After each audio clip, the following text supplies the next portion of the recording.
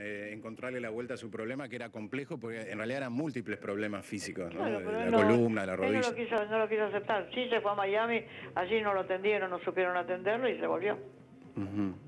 Y había tenido, bueno, en el último viaje a, a Miami bastante problema también con, con, el, con el tema de su salud. Sí, pero él fue por, él cuando la última vez que fue a Miami fue por su salud.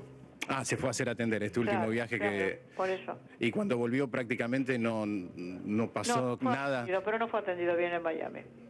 No hubo médicos que lo atendieran bien, que entendieran lo que él tenía. Bueno, bueno, muchas gracias Marta, le mandamos No, un abrazo gracias enorme, ustedes.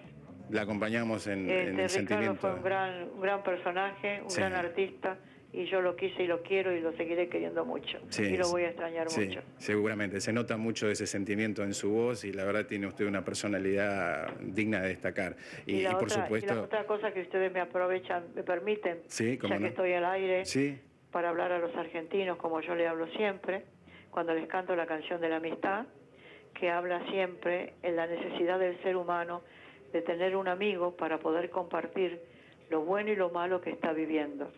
Por eso le digo a los argentinos, argentinos, manténganse unidos, saquen adelante para poder sacar adelante este hermoso país que tenemos, porque nuestros hijos y nuestros nietos se lo merecen.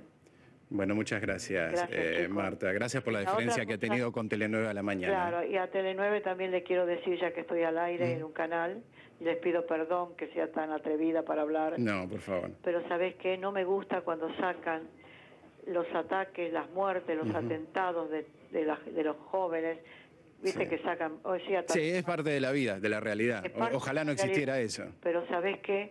No tendrían que sacarlos tanto por televisión, ¿sabes por qué? Porque los otros, los jóvenes del país lo están viendo y dicen, uy, mira, lo podemos hacer, mira qué bueno que fue. ¿Te das cuenta? Le están enseñando a no conducirse bien.